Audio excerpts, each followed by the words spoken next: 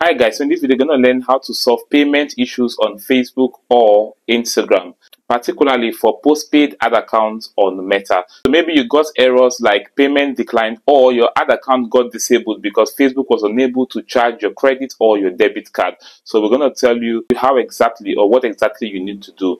Now the secret in fixing this issue is simply by looking for a card that actually works, okay? Now if you're in Nigeria particularly, you need to get a dollar card. You can get this from Chipper Cash or from Grey. I'm going to post the link in the description section where you'll be able to download the app to help you get a virtual dollar card either through Chipper Cash or you could use the Grey card or any other um, digital platform or online bank that offers virtual card services, particularly a dollar card. Okay, this issue is common for regions whereby international payments or paying international companies has been disabled or has been banned. Okay, so if your country restricted international payments with your financial institution, with your local financial institutions or banks, you might have difficulties paying Facebook or other international companies online. So what you basically need to do is to get a dollar card so that you'll be able to pay Facebook or other international and platforms you do business with.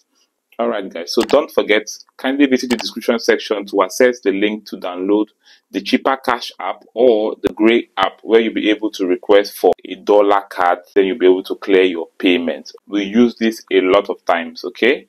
So feel free to sign up on this app. Then you complete the KYC process, then you should be able to request for your USD card in these platforms just to make this video more interesting, we're going to go to the practical aspect of it where we actually use a dollar card to clear a payment, right? So let's jump into the video. So the first step is to visit payment and billing section on Instagram or for Facebook, use Meta Ads Manager app. So we'll launch the Meta Ads Manager app. Then you would have to switch to the particular ad account that has the disabled payment or the unsettled payment. So we're going to switch to this ad account called Shop with Sonia we'll select it.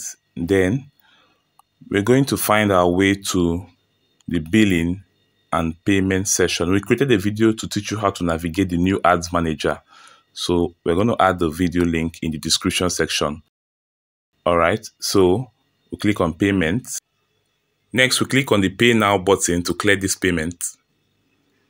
So we're going to add another card, which is a virtual dollar card for this case. Then we'll click on next the previous one is not working. All right, so you input your card details, then you click on save.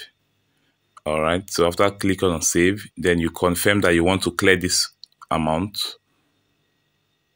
All right, so you could see that the money has been cleared successfully. Click on done. You're going to find your receipt to confirm that it actually worked. Then you come back to Meta Ads Manager and you find that the money has been cleared successfully. So now would advise you to create a prepaid ad account after now if you're a Nigerian.